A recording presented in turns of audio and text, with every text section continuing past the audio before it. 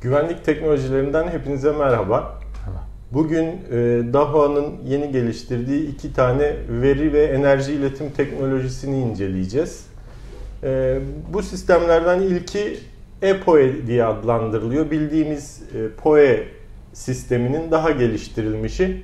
E, burada mesafe uzuyor. E, evet, extended extended e, diye ifade edilen mesafe uzuyor. Mesafeler hakkında istersen sen bilgi ver Özgür. Ben vereyim bilgi. Biliyorsun Serdar normalde Ethernet kablosuyla iletişim yani ket altı kabloyla iletişim en fazla 100 metreye kadar sağlıklı bir iletişim sağlanabiliyor. Evet. 100 metreden sonra veri kayıpları başlıyor. Yani sahada biz 120 metreye yani, kadar evet, filan 120 metreye kadar kullanılabiliyor evet. ama en sağlıklısı 100 metreye kadar. Doğru. 100 metreden sonra böyle bir sıkıntı yaşanabiliyor. Extended PoE'nin en büyük avantajı bu mesafeleri aşıp 800 metreye kadar hatta 1 kilometreye kadar bu mesafeleri uzatabiliyor ve tek kablo üzerinden arada tekrar ekstra bir switch'e gerek kalmadan yani biz evet. Extended PoE'nin üzerinden aldığımız kabloyu direkt olarak kameraya kadar 800 metreye hatta 1 kilometreye kadar taşıyabiliyoruz. E, bu çok ciddi bir e, arttırım olmuş tabii teknoloji olarak. Evet. Şimdi istersen EPOE ürünlerine bir göz atalım. E, bu e, EPOE switch Dahua'nın çıkarttığı. E, bu switch şu anda 4 tane EPOE portuna sahip ve e, üzerinde de yazıyor zaten. E, 4 tane portumuz yüzlük. Evet. Bir tane de 5. E, bir port var. E, o da Bunun, gigabit portumuz. Gigabit port ve bunda EPOE desteği yok. Bu yok. sadece switch'ten switch'e atlamak için kullanabileceğimiz bir port. Bir de e, fiber altyapıyla kullanabilmemiz için SFP port Doğru. var burada. Bu ürünün zannediyorum sadece şu anda 4 portlu 4 versiyonu port var, mevcut. Evet. Fakat hani dokümanlarından anladığımız kadarıyla daha yüksek portlu switchler hatta EPO'yu destekleyen NVR'lar, NVR'lar. E, yolda zannediyorum. Zaten endüstriyel switch olduğu için hani çoklanabilir de. Tabii evet yani endüstriyel tarzda bu e, din rayına oturabilecek şekilde tasarlanmış bir ürün dediğin gibi. E, Burada bir tane kameramız var. Yine EPO'ya destekleyen bir kamera. Ee, burada şeyi de ifade etmek lazım. Bu switchle yani EPO teknolojisini kullanmak için EPO'ya evet, destekleyen EPO bir kameraya, kameraya ihtiyacı var. var. Ee, doğru. Ee, yani burada Daha'nın bize gönderdiği kamera e, motorize lensli, e, balıt, e, bir e, formda bir kamera. E, bildiğimizden çok farklı görünmüyor ama EPO'ya desteği var. E, şimdi istersen bunun testine geçelim. Şimdi EPO'yu ofis ortamında test ediyoruz. Nasıl bir test ortamı hazırladık Özgür? Serdar, EPOE testimizi 500 metrelik Ekolan marka bir 23 AVG ket altı kablo ile yaptık testimizi. Rulo halinde kabloyu bu şekilde test ediyoruz şu anda. Evet, e, yani oyuncağımız falan var. Akışı görüyorsunuz. 500 evet, metrede su, sıkıntısız bir akış var. E, tabii pek çok usta bunu e, sahada açık kabloyla da test edilmesini talep edeceğini düşündüğümüz için evet. 500 metre kabloyu da güzel bir şekilde e, iş merkezinde serdik. E, bunun testini de yaptık. E, yani 500 metre kabloda gördüğünüz gibi hiçbir gecikme olmadan veriler akıyor. Yani bence başarılı. Evet Özgür, EPOE'nin performansı bence gayet başarılı. Ee, tabii şöyle bir durum var, bunu da belirtmek lazım. Biz tek e, kamerayla test evet. edebildik çünkü e, bize üreticiden gelen sadece bir switch ve bir kameraydı. Ama görüşmelerimizde e, 4 kamerayla da herhangi bir performans sorunu olmadığını belirttiler.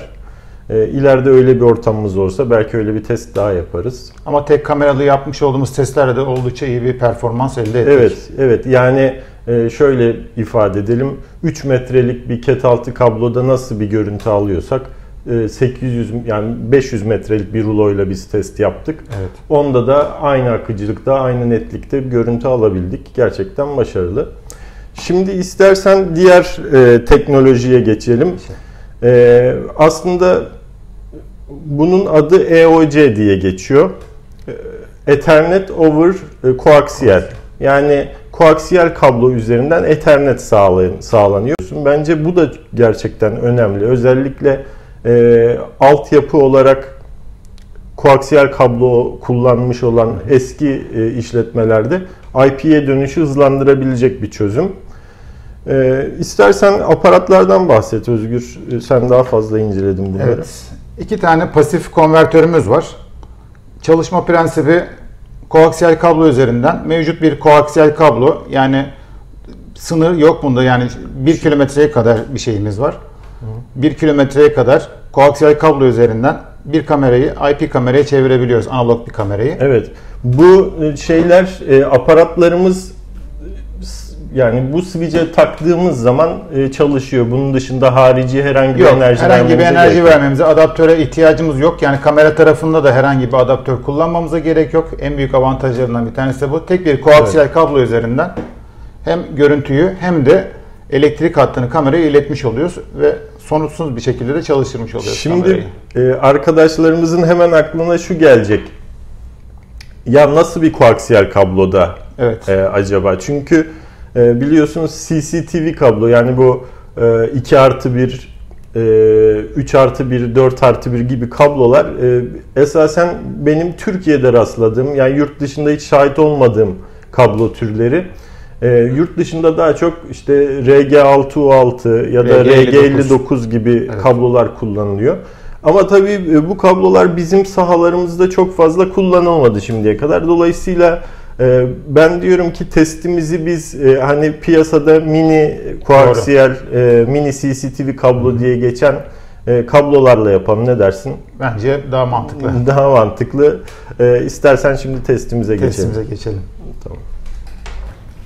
Evet şimdi EOC yani Ethernet over Coaxial testimizi yapıyoruz. Mini CCTV kablomuz 400 metre ve bir IP kamerayı çalıştırmış oluyoruz böylece.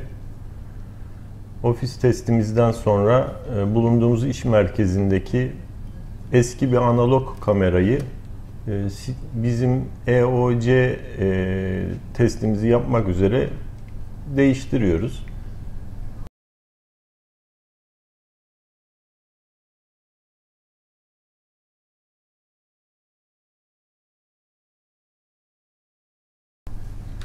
Aparatımızı taktık. Bu uç gördüğünüz gibi EPO'yu destekleyen switch'imize girecek. EPO'yu destekleyen portlardan birine taktık. Beşinci portumuz yani gigabit porttan da herhangi bir switch'e de çıkış alabilirsiniz. Biz burada NVR'a çıkış alacağız. Daha sonra kameranın olduğu bölüme doğru montaj için geçeceğiz.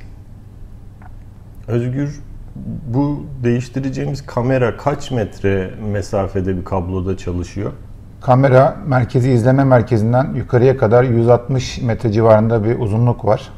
Evet, biz e, koaksiyel kablo üzerinden hem e, data iletimini sağlayacağız hem de enerji iletimini sağlayacağız değil mi? Yani evet. burada şu anda RG606 çekilmiş zannediyorum bu binada. E, dolayısıyla biz e, mevcut analog kamerayı değiştireceğiz.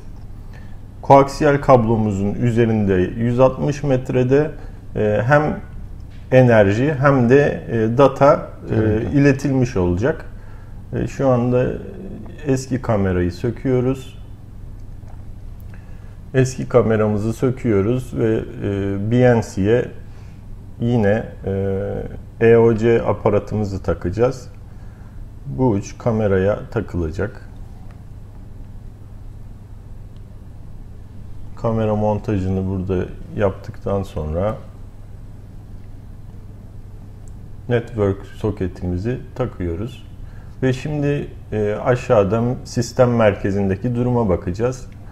Hem data hem e, enerji iletimi bakalım nasıl sağlanıyor. Switch'in üstünde gördüğünüz gibi bir akış görünüyor.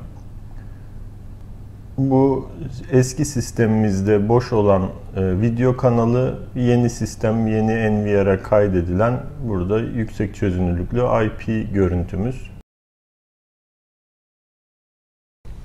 Evet Özgür. Evet Serdar. E, koaksiyel kabloyla yaptığımız testi de gördün. E, bence e, ekonomik bir kablo üzerinde bile güzel bir performans. Yani tabii biz e, koaksiyel kabloyu e, bu kadar uzun metrajda bir yerde sarılı olarak bulamazdık. Çünkü koaksiyel kablo Doğru. biliyorsun metrajı hani ben 250 metrede çalışanını gördüm. Daha üstünü görmedim.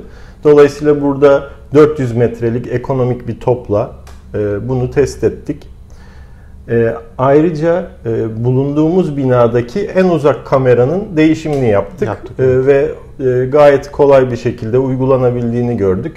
E, yani sistem çalışıyor bence öyle görünüyor. Evet yani en büyük özelliği de bir tek net şey kablosu üzerinden e, koaksiyel, koaksiyel kablo, kablo üzerinden hem görüntüyü hem de power'ını yani elektriğini taşıyabilmesi. Yani hem EPOE hem de EOC e dediğimiz iki sistemde uzun mesafe veri iletimi için işe Doğru. yarayabilecek sistemler. Doğru. Evet. Ee, videomuzu izlediğiniz için çok teşekkür ediyoruz. Ee, sosyal medyada bizi takip edebilirsiniz. Ayrıca e, konuyla ilgili sorularınız varsa yorumlar kısmında cevaplamaktan memnun oluruz. Teşekkür ediyoruz. Teşekkürler.